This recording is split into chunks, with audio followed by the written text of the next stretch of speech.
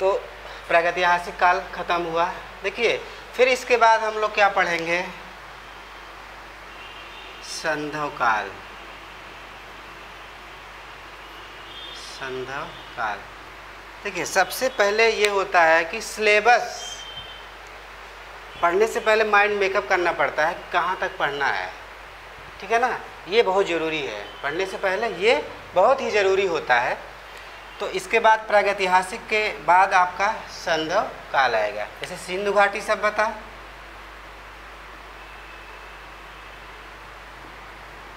सिंधु घाटी सभ्यता हाँ थोड़ा सा यहाँ पे मिस कर गए थे प्रागैतिहासिक काल में। देखिए, प्रागैतिहासिक चित्रकला का निर्माण करने में कुछ उद्देश्य रहा होगा मनुष्यों का।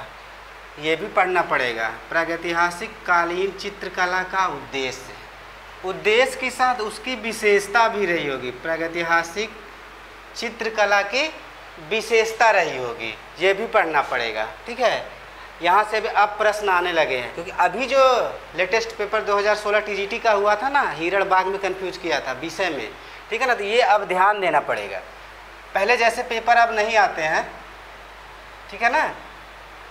क्योंकि अब जो है, प्रश्न तो आसान रहेंगे, लेकिन जो है ऑप्शन जो होगा ना, वो क्रिटिकल होगा। इसलिए आप ध्यान से पढ़िए। अब देखिए संधव कला या सिंधु घाटी की सभ्यता। तो व्यवहारिक पूरा क्या पढ़ेंगे हम लोग? पहले सिंधु घाटी सभ्यता पढ़ेंगे। ठीक है ना? कितने देश में फैला है? कौन कौन से स्थल महानगर हैं? ठीक है ना? खुदाई। खुदाई की पद्धति। ठीक है ना? इसकी लंबाई। प्लस चौड़ाई।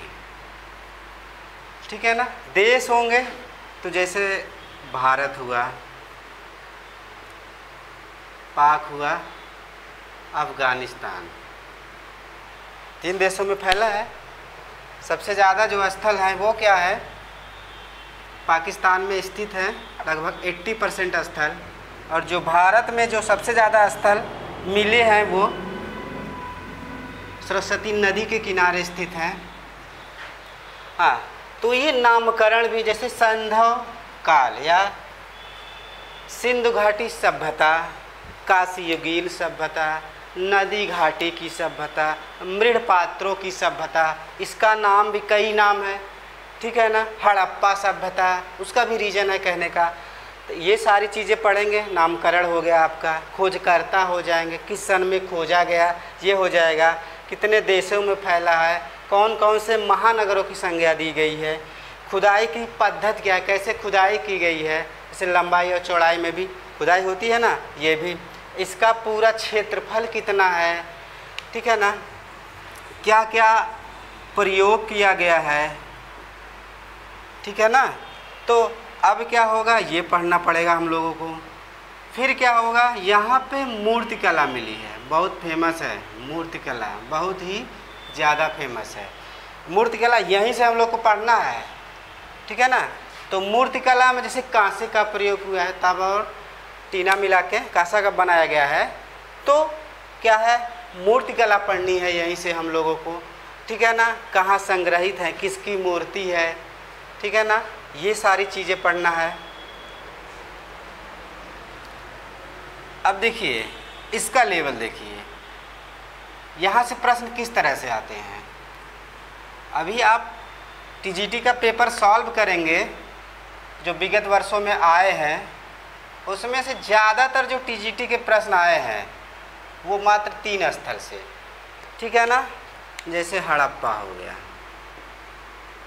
हड़प्पा, मोहनजोदड़ो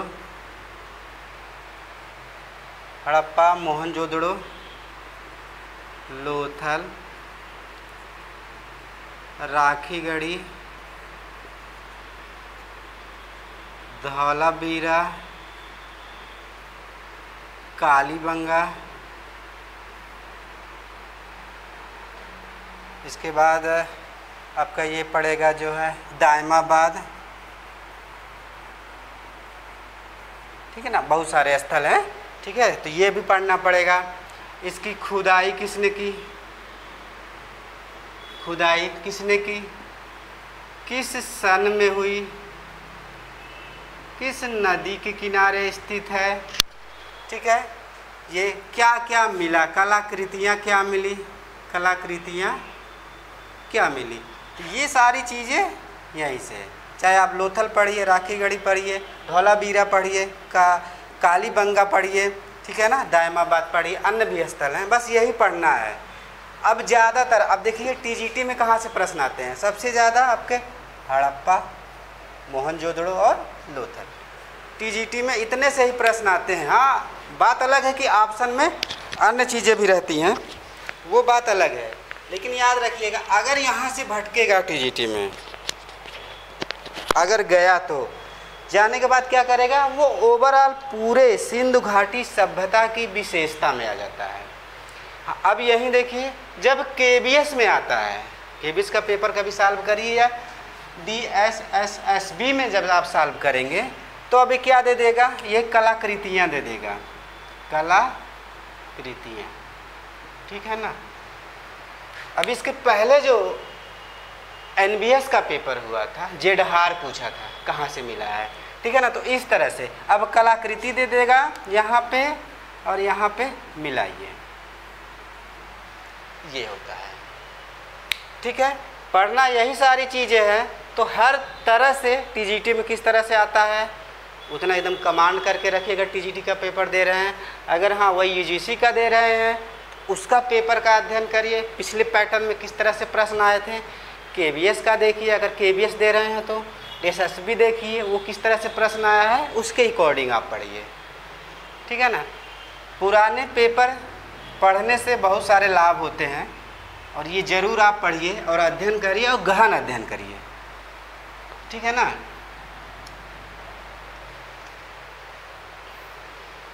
ये हो गया सिंधु घाटी की सभ्यता की कला। अब फिर हम लोग क्या आएँगे? वैदिक। वैदिक काल। ठीक है? अब वैदिक काल को देखिए, दो भागों में बांटा गया है। पूर्व वैदिक काल और उत्तर वैदिक काल। ठीक है ना? अब यहाँ पे जैसे वेदों की रचना हुई है, और यहाँ पे आएँगे तो अन्य चीज़ों की रचना हुई है, जैसे अथर्ववेद के बाद उपनिषद, मनुस्मृतियाँ। स्मृति फ़िलहाल बाद में रची गई है तो ये भी जानना ज़रूरी है, क्योंकि ये यूजीसी में हो सकता है मिलाने के लिए दे दे, और वो भी जब तक आप क्रमिक ढंग से नहीं पढ़ेंगे तब तक आप मिलाने में दिक्कत होगी। यहाँ पढ़ेंगे हम लोग। ठीक है, ये हो गया आपका वैदिक। काल हो जाएगा। अभी बस टच करा रहे सिलेबस से आप सबको। ठीक है ना? करते जाइए, फिर बहुत ही आसानी से आपको सिलेबस समझ में आएगा, पढ़ने में मज़ा भी आएगा। ठीक है ना? फिर यहाँ पे आएँगे हम लोग तो क्या होगा? सोलह महाजनपद। सोलह महा जनपद ठीक है ना? जैसे अंग मगध, वज्जी, ठीक है ना? वैशाली, गांधार, ये सारी चीज़ें सोलह महाजनपद में आएँगी। तो यहीं से देखिए, जो सबसे ज़्यादा शक्तिशाली होगा, ठीक है ना? जो सबसे ज़्यादा शक्तिशाली होगा, वो क्या होगा? राजवंश की नींव पड़ेगी। जैसे, देखिए, हरियक वंश शिशुनाग वंश, नंद वंश, ठीक है ना? ये पढ़ना पड़ेगा, क्योंकि मिलाने के लिए जब आएगा ना, इसी तरह से फंसाएगा। और ये पहले से ही क्लियर रखिए। ठीक है ना? जब ये वंश स्टार्ट होंगे, इसके पहले ही हम लोग को क्या पढ़ना पड़ेगा? धार्मिक आंदोलन। धार्मिक आंदोलन। धार्मिक आंदोलन में जो दो धर्मों के बारे में हमको और क्या कहते हैं कि सबसे ज़्यादा भी पढ़ना पड़ेगा यहाँ से। पहला जो होगा, वो बौद्ध धर्म होगा। बौद्ध धर्म होगा और दूसरा होगा जैन धर्म। ठीक है ना? ये होगा आपका बौद्ध धर्म और जैन धर्म। बौद्ध धर्म पढ़ने के बाद अजंता तक आप जाएँगे। यहाँ तक कि कहाँ तक हमको चलना पड़ेगा? पाल। पाल कला तक। क्योंकि पाल कला तक क्या है? चित्रण विषय बौद्ध धर्म ही रहा है। इसलिए बौद्ध धर्म और महात्मा बुद्ध। पढ़ना बहुत ही ज़रूरी है, वो भी पूरा डिटेल में। और यहाँ तक कि जैन धर्म, क्योंकि जैन धर्म भी पढ़ना बहुत ज़रूरी है। जैन धर्म अभ्रंश शैली तक चित्रण हुआ है तो इसलिए क्या है, जैन धर्म के जितने तीर्थंकर हैं, उनका जन्म स्थान भी पढ़ना है, उनका प्रतीक चिन्ह भी पढ़ना है, रंग भी पढ़ना है। मिलाने के लिए आता है, ठीक है ना? और यहाँ के बाद हिंदू धर्म भी पढ़ना पड़ेगा। हिंदू धर्म।